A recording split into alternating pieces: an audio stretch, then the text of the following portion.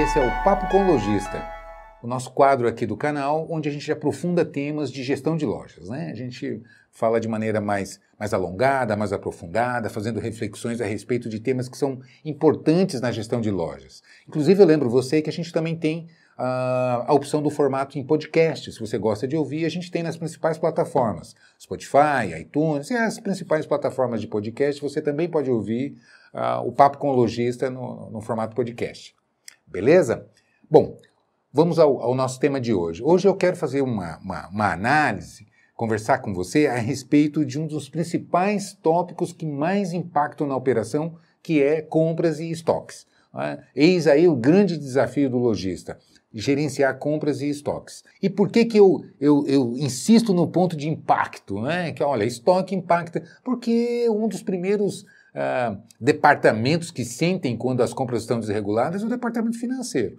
Quando se compra demais, a, a, a, geralmente o contas a pagar explode, desequilibra o fluxo de caixa, o financeiro fica doidinho com quando as compras acontecem de maneira desequilibradas, né? Ou e quando ocorrem para baixo, o departamento comercial também aperta muito, as vendas caem em função de falta de mercadoria, falta de novidade na loja, ou seja, realmente é uma área né, difícil de ser gerenciada e estratégica para o negócio, ela impacta desde o marketing, o posicionamento mercadológico. É? É, a partir do mix de produto, a, as mercadorias que você joga no seu salão de vendas, é que vai definir que público-alvo que você atende, que tipo de gente que você está atraindo, né? que tipo de cliente você está puxando para dentro da loja.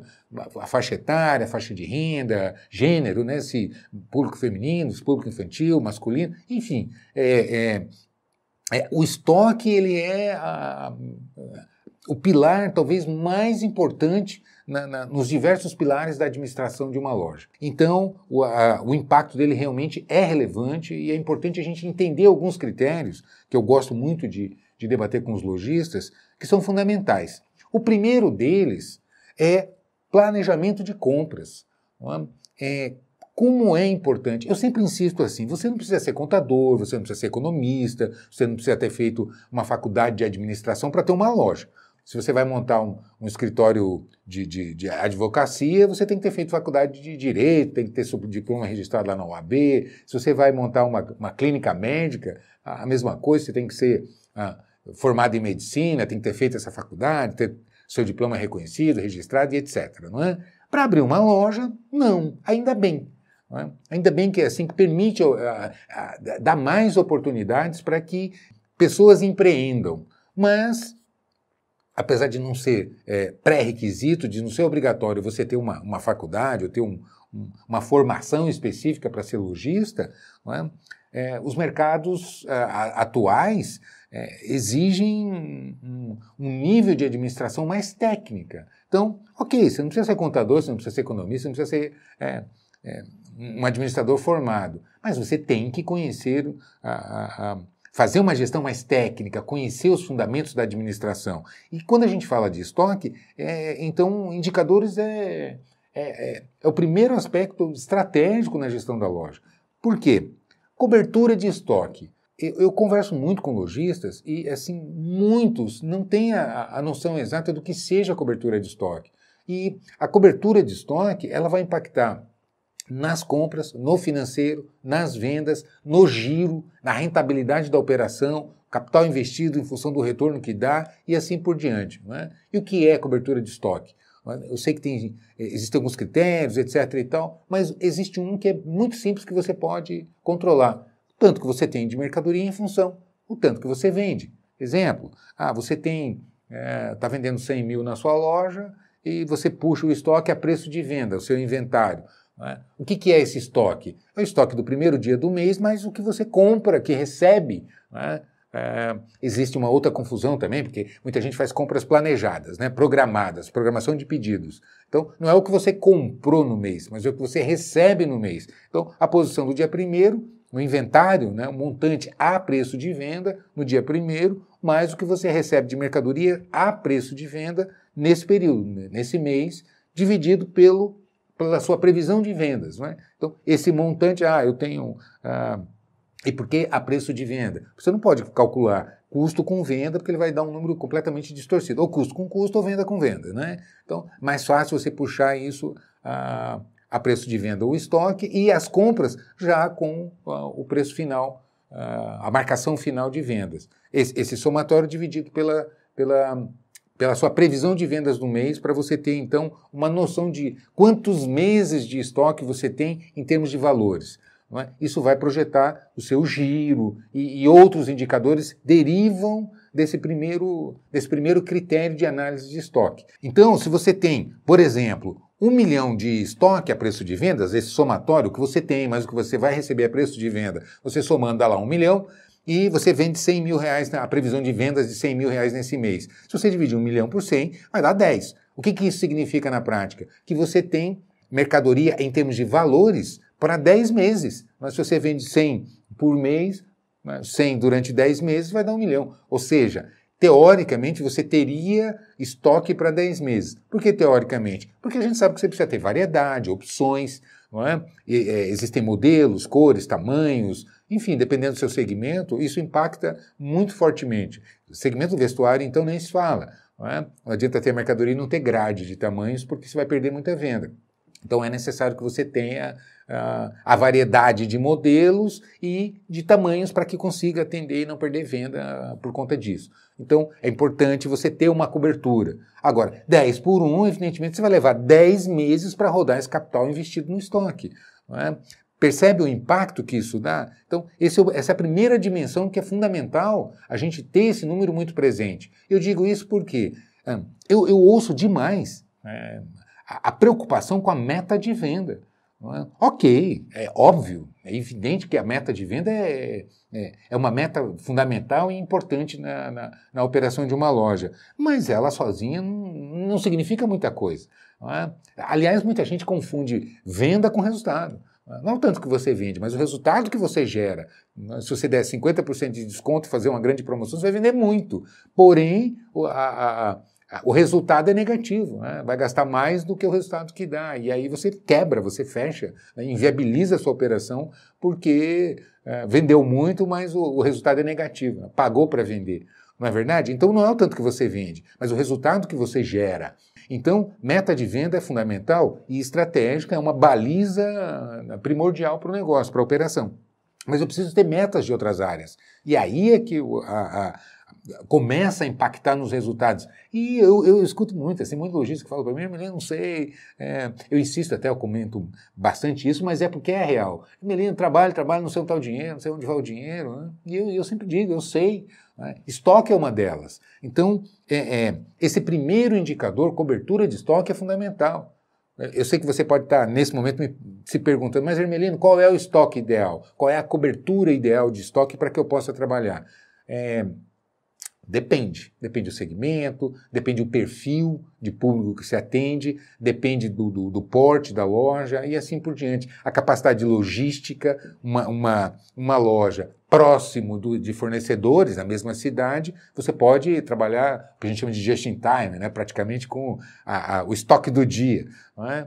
pela facilidade de reposição, etc. e tal. Existem outras lojas que estão pela localização é, no interior, por exemplo, fica muito mais difícil, não é assim. Tem, a gente chama de transit time, né? um, um tempo entre você pedir, o fornecedor faturar, despachar, essa mercadoria transitar por uma transportadora e chegar até a loja. Ou você viajar para comprar, buscar e trazer essa mercadoria para a loja, você tem uma defasagem de tempo. Então, evidentemente que isso vai impactar na. Você precisa ter um estoque reserva de segurança para que você tenha condições de não perder venda por falta de mercadoria por conta do atraso no, no recebimento de, de, de, reposição de estoques. Então, não existe uma, um número definitivo que serve para todo mundo.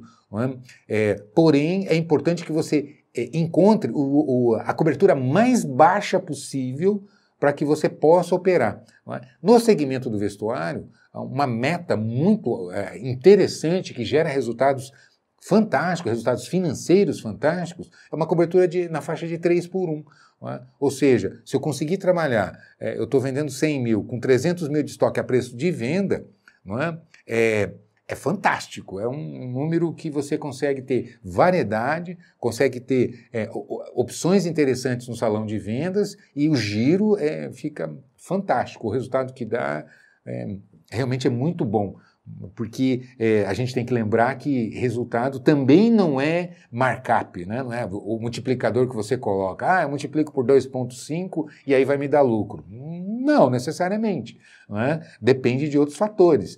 Custos, as despesas e etc. dentro de uma loja vão influenciar o giro, o tempo que leva para rodar esse capital, vai impactar no seu DRE, no seu demonstrativo de resultados do exercício. É? A gente vai falar um pouco disso daqui a pouco. É, então é importante entender isso tudo que a gente está colocando. Meta de compras. Mas, Emelino, na minha loja eu tenho vários departamentos e tal. Esse é um outro fator que você precisa analisar. De repente, é, eu, eu, eu, vejo lojistas, eu até já comentei aqui, é, com lojas que tem, não tem um porte é, suficiente para se trabalhar com a quantidade de variedade de departamentos ou de linhas de produtos que se tem dentro do mix? Esse é outro ponto estratégico que vai afetar isso. Se você abre uma, uma, uma, um grande número de departamentos dentro da loja, evidentemente você precisa ter variedade para cada departamento e as opções dentro de cada item, de cores, de modelos, alternativas de preço, etc. E tal, isso vai te obrigar a ter uma cobertura mais alta é? Em função do volume que você vai atender. Então, a, a, o porte da loja também é importante. Um bom indicador é o metro quadrado. É? Você analisar quanto você vende por metro quadrado, qual é o seu potencial de venda por metro quadrado, para que você possa, a partir daí, dimensionar. Não, eu vou trabalhar com esse segmento e.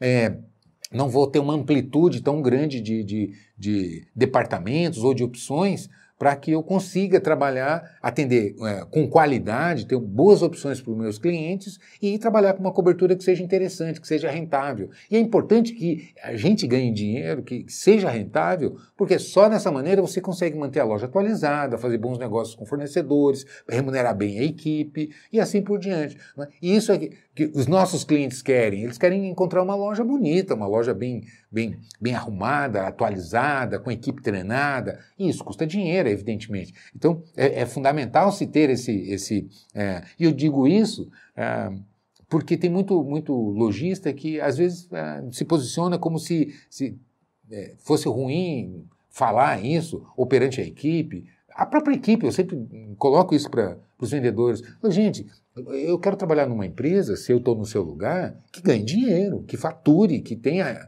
uma boa rentabilidade, que tenha lucro, para que possa me pagar bem, para que possa crescer, criar oportunidades para mim aqui dentro, é? ter agressividade no mercado, ter, conseguir ter uma loja atualizada e assim por diante. Não é verdade? Então, não é pecado, não é ruim você ter uma loja com que, que que, que, visa ter lucro. Muito pelo contrário. Né? O lucro é o, é o princípio básico do, do, empreendimento, seja ele qual for. É? Senão, não é empresa, pode ser outra coisa, mas empresa visa lucro. Não é isso?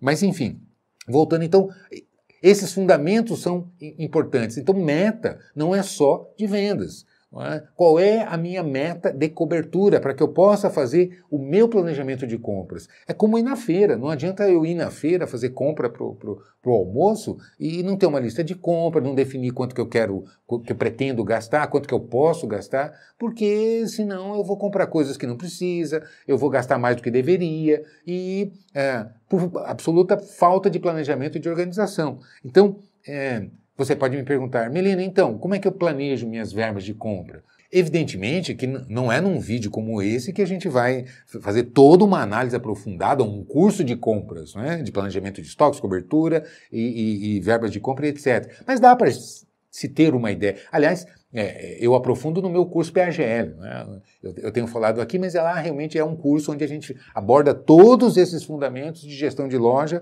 porque é, uma área impacta na outra, não adianta a gente falar de compra se o financeiro não, não estiver adequado. Né? Mas, enfim, é, é importante a gente ter é, é, um bom planejamento e eu vou passar alguns indicadores que eu acho que já dá para você refletir para fazer um planejamento mais adequado. O primeiro passo é você saber onde você está. Né? Qual é a sua posição hoje? Quanto que é a sua cobertura? A dica é essa. Eu já comentei aqui pega o estoque da sua posição no dia 1 dia 31, né? ou seja, o último dia do mês, que vai ser o, o, o primeiro dia do mês que você vai trabalhar. Então, eu tô, uh, nós estamos em novembro, então é que dezembro é diferente. Né? Esquece dezembro, vamos raciocinar o mês normal. Vamos imaginar que a gente está em março, por exemplo, para facilitar. Né? Depois a gente sofistica mais, porque dezembro exige um, um planejamento diferenciado. Mas em meses normais, em meses médios, é? vamos imaginar que eu estou em março, então eu vou fazer qual é a minha previsão de vendas para abril, por exemplo. É? Ah, eu estou prevendo vender 80 mil reais. Ok, então a minha previsão de vendas, que também não pode ser chute, não deve ser chute, ela deve ser baseada né, todo um estudo que eu analiso e tal. Enfim, vou né, chegar à minha conclusão que minha previsão de vendas é 80 mil reais. É? Eu, ah, quanto que eu fechei o mês, eu estou fechando o mês? Tiro um relatório de estoque a preço de venda. Tirei, tem lá, 320 mil, por exemplo, de estoque. 320 mil é no começo do mês, eu vou precisar comprar. Né? Só que se eu dividir 320 por 80, que é a minha previsão de vendas, eu já inicio o mês, sem considerar as compras, com uma cobertura 4. Né? 4 vezes 8, 32. Ou seja, se eu dividir 320 por 80, vai me dar 4. Significa que eu tenho uma cobertura 4 por 1. Né? Mais as compras que eu preciso fazer. Evidentemente que a gente tem o estoque vai esburacando, né? Vai, vai, tem necessidade de reposição de algumas mercadorias ou de trazer novidades para a loja, porque os clientes precisam de novidade, a equipe precisa de novidade.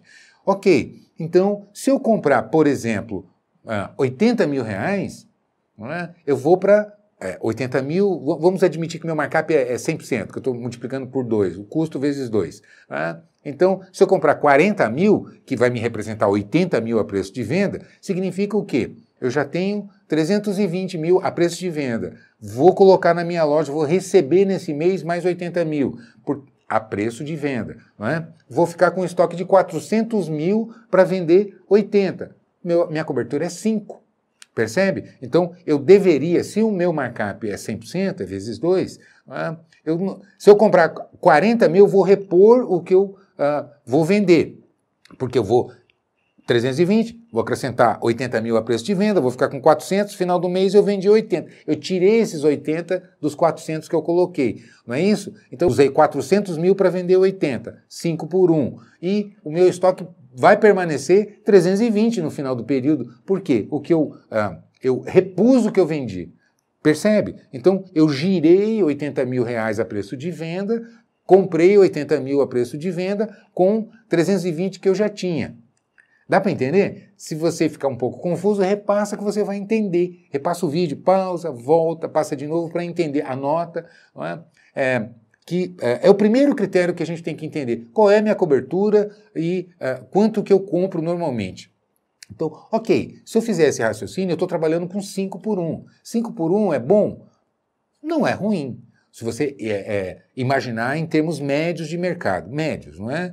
É, não chega a ser assustador. Assustador são algumas lojas que às vezes eu chego eu vejo, quando a gente tira e faz esse cálculo, a gente encontra 20 por 1. Não é raro encontrar 20 por 1. A pessoa tem é, 200 mil reais lá e está vendendo 10. Né? Então você olha e fala, nossa, você, leva, você levaria 20 meses para rodar esse estoque que você tem aqui. É por isso que você não vê dinheiro. Não é? Ele está todo imobilizado em estoque. E estoque, é, Antigamente era força, hoje é fraqueza. Por quê? Estoque envelhece muito rápido.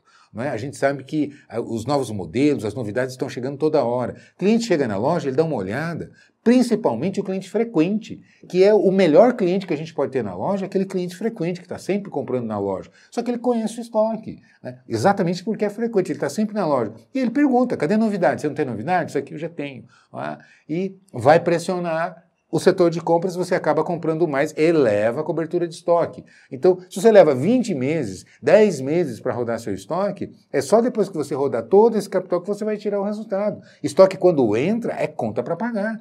Não é mercadoria quando você compra, é conta para pagar. Só vai deixar resultado quando faz o movimento completo, quando sai. Né? Então, é preciso que entre e saia. Enquanto entra, é entre aspas, é problema, porque é conta para pagar, pode envelhecer. Envelhecer significa o quê? Fazer promoções, baixar markup, é, desestimular a, a, equipe no sentido de não ter novidade, porque eu tenho que segurar a compra, meu estoque está muito alto. Ou, ou, seja, é uma, é uma sequência de problemas que você começa a gerar na loja quando a compra está tá, tá errada e o seu estoque está muito alto. É? Bom, esse é um primeiro fundamento, então. É fundamental você estabelecer, seja qual for, analisa a sua, a sua posição e é, identifica qual é a sua cobertura e começa a estabelecer meta para baixar. É? para chegar num número mais próximo de um. É, esse é o ideal. Um seria uma utopia, um sonho, uma fantasia. É? No, no, no, segmento médio geral do varejo é, é praticamente uma utopia. Porém, é, é, eu estou pensando aqui pelo seguinte: só é possível fazer isso se você tem a loja pertinho do fornecedor, né? Dá para comprar e fazer uma reposição, é, como eu sei, eu conheço loja que faz reposição semanal. É? Então ela pode trabalhar, ela raciocina por semana.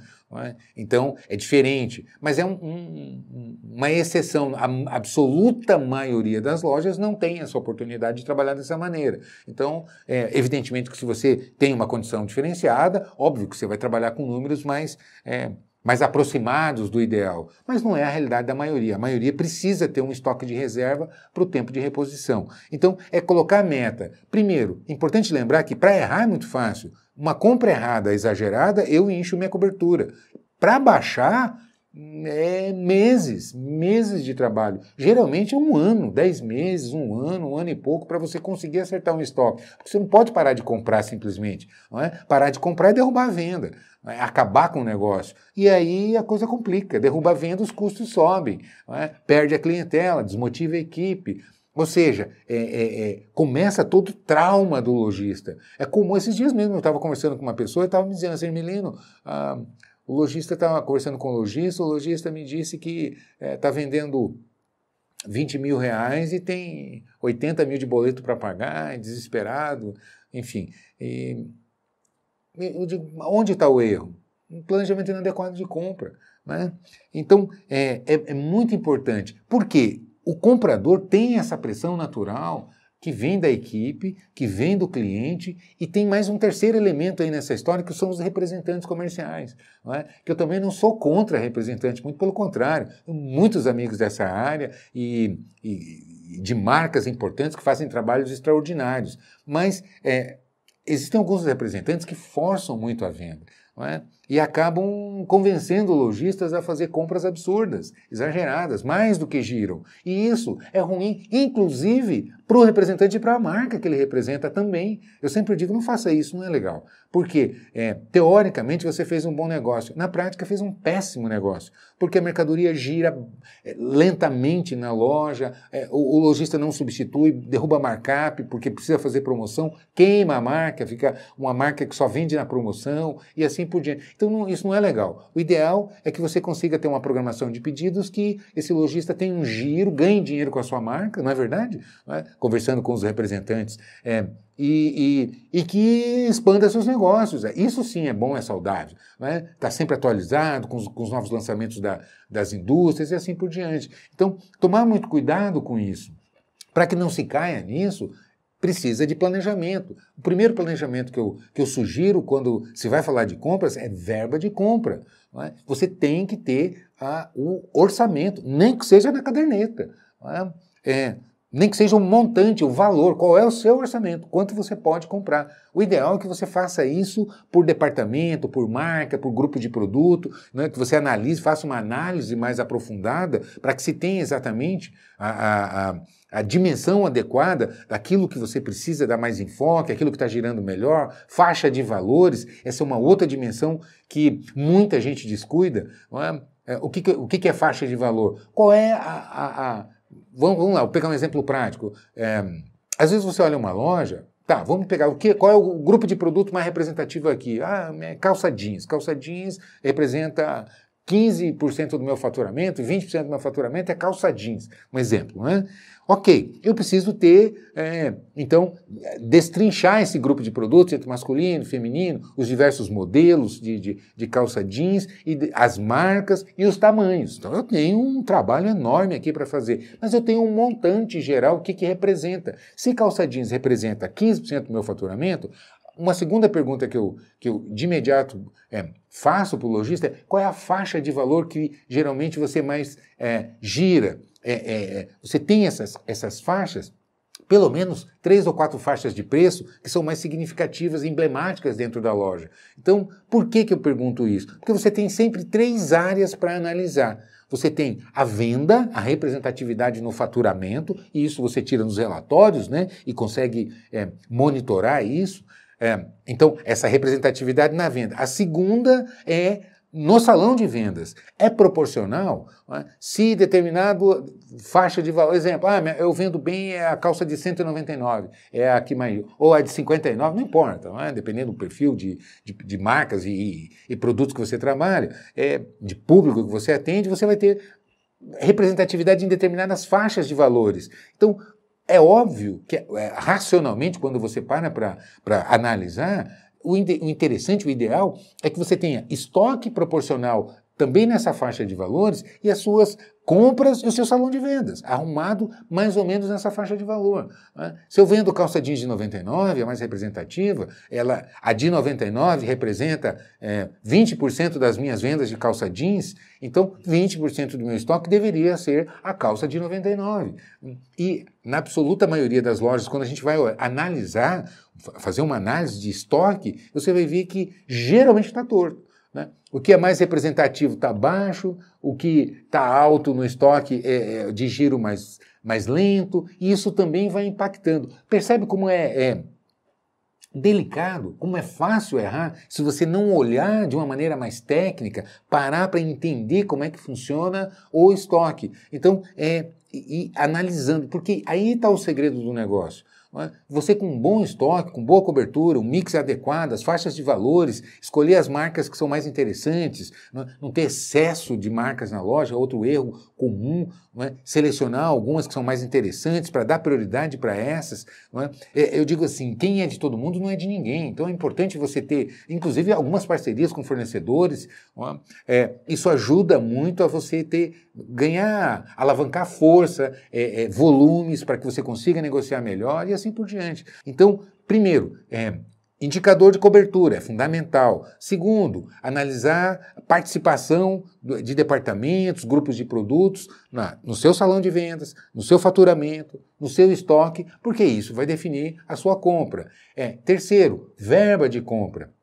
Como que eu calculo verba de compra? Vou dar uma dica rápida para você. Vamos admitir que você olhou, a sua cobertura está tá adequada, você acha que está tá bom do jeito que está, ok? Ah, eu estou com uma cobertura aqui, 4 ou 5, alguma coisa por aí. Beleza, não está ruim. Vou dar foco então em fazer meu planejamento de compra, vou tentar comprar, vou repor o que eu vou vender.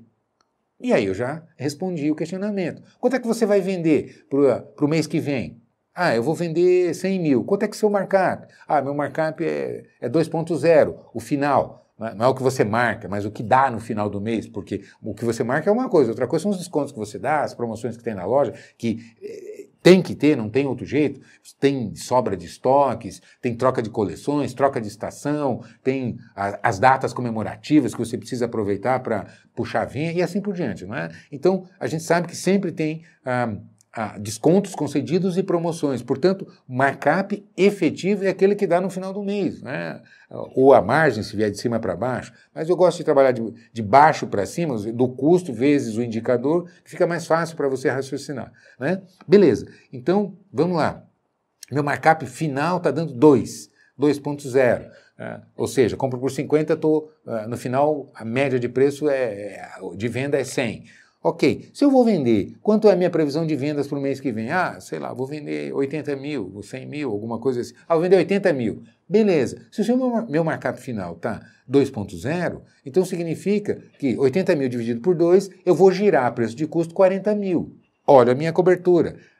Tá legal? Ah, tá legal, tá 4, 5, eu acho que tá bom dessa maneira. Beleza. Então, vou tentar repor, vou comprar para repor esse capital. E aí é que eu vou olhar as mercadorias, vou fazer a minha listinha de compras, só depois disso é que eu saio para comprar ou atendo os representantes, mas com isso planejado antecipadamente. Por quê?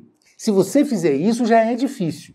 Eu garanto para você, não é fácil, não é? porque erra, a gente erra, faz apostas que né, nós não temos bola de cristal, qual é a tendência, e às vezes a gente erra, e então, determinados itens que é, a gente acredita que estão bonitos, vão girar bem, a gente acredita e, e compra, e de repente a realidade não, não, não corresponde com o que a gente imagina. Então, por mais que se você faça planejado, a gente erra, imagina é, é, outros fatores que ainda acabam é, impactando no planejamento de compras. Um deles é pedido mínimo, porque às vezes a gente faz uma análise e vê que para repor determinados grupos de produtos ou determinada marca, é pouca coisa, não dá pedido mínimo. Então fica um problema. Ou você não compra, ou para fazer o pedido mínimo, vai comprar mais do que precisaria em tese para esse período que você está planejando. Não é verdade? Então, é, é, o que eu digo, planejando já é complicado, você calcula não planejar. E, e o que, que você faz? Tem que tomar essas decisões.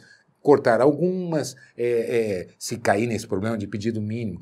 Tem outros fatores também né, que, que é importante considerar. Algumas marcas você tem que fazer pedido programado especialmente algumas, algumas marcas no, no, segmento de confecção em calçados, né, que você compra coleções antecipadas, você está no verão comprando inverno, né, tendo que é, presumir o que, que vai vender, qual vai ser a tendência, fazendo um planejamento de vendas mês a mês para você ter uma ideia do que, que vai girar, que cobertura que você vai chegar de estoque lá nesse mês que você está comprando. Então, é um complicador a mais que, que que, que dificulta o planejamento. Então, como é importante o planejamento?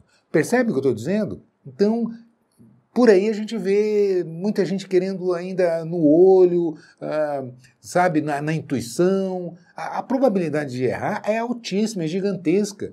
Uh, e aí, sabe o que eu escuto? Ah, essa crise está afetando muito forte, ou reclama de, de, equipe. Ok, a gente sabe que a crise atrapalha, que equipe não é fácil montar, capacitar, é, é, é motivar, acompanhar e etc. Ok, já é um complicador de fato. Mas será que realmente é isso? Então a gente vai olhar e, e as compras estão completamente erradas e afetando nas vendas.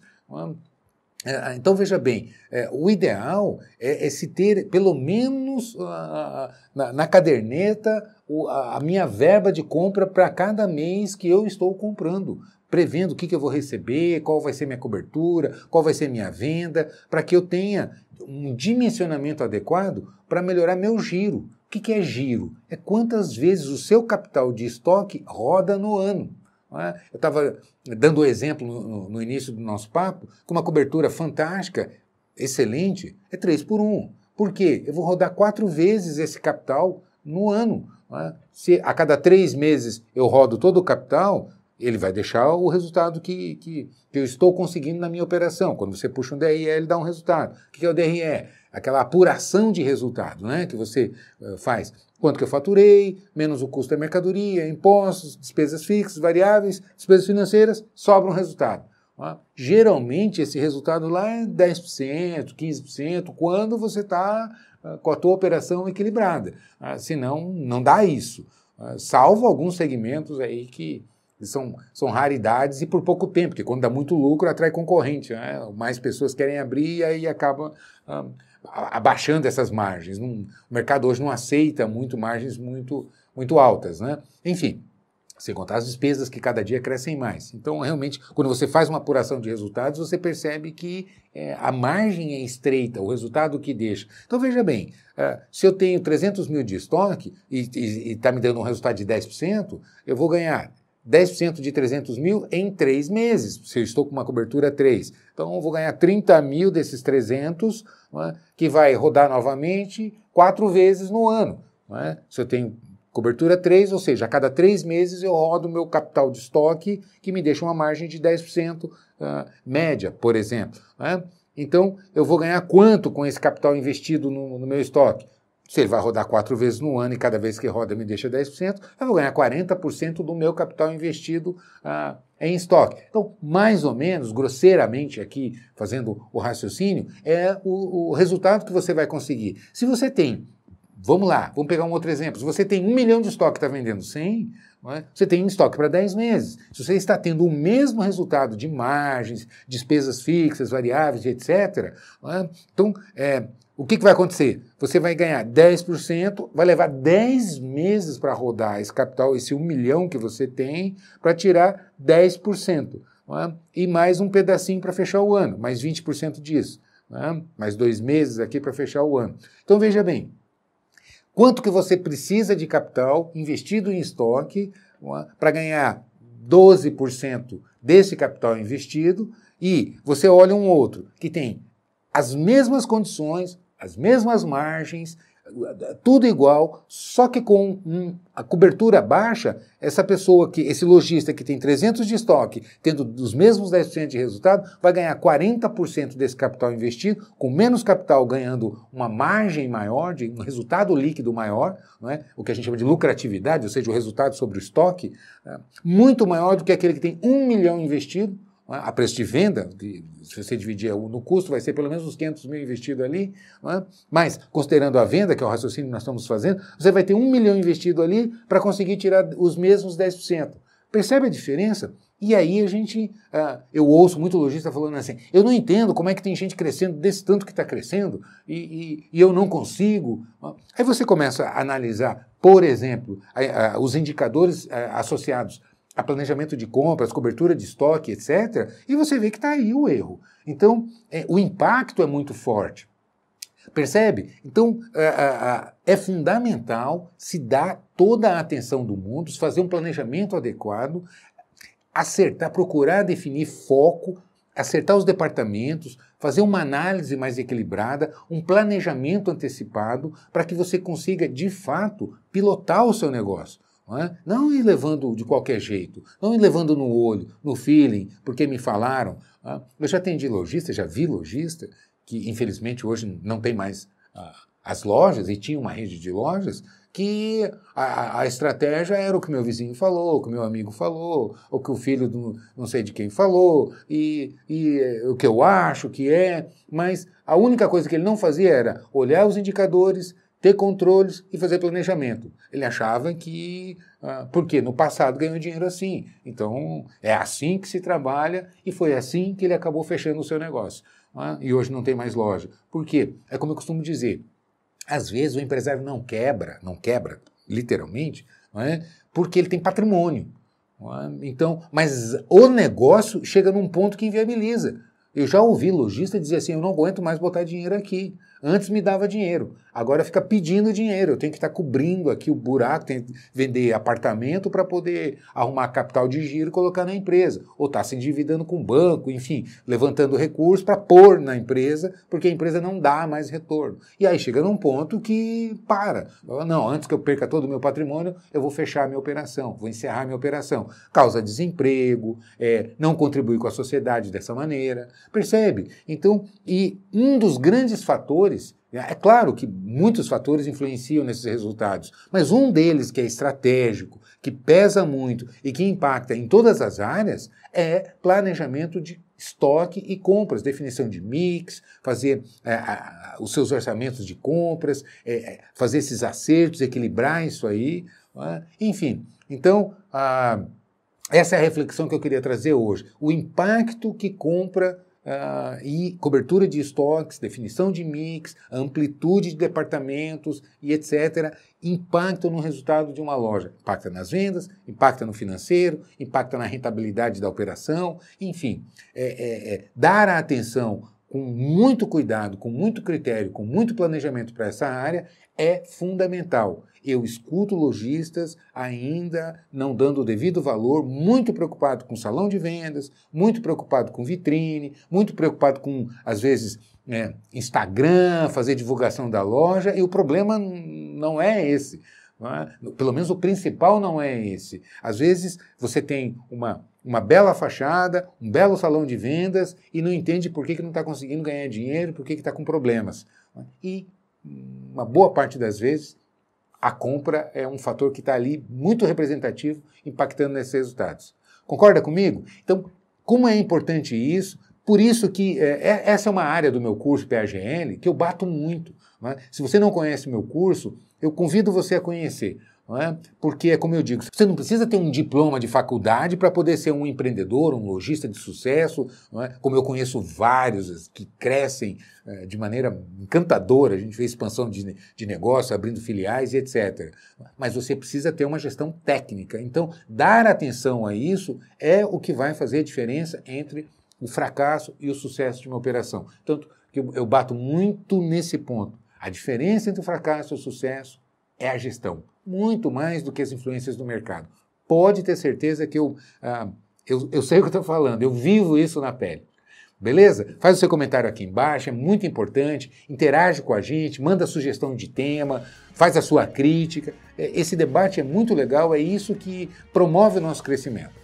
E esse espaço eu, eu, eu criei exatamente para isso, para interagir, para fazer reflexões a respeito do segmento, porque é somente dessa maneira que, é, pensando, debatendo, discutindo, analisando, que a gente promove crescimento.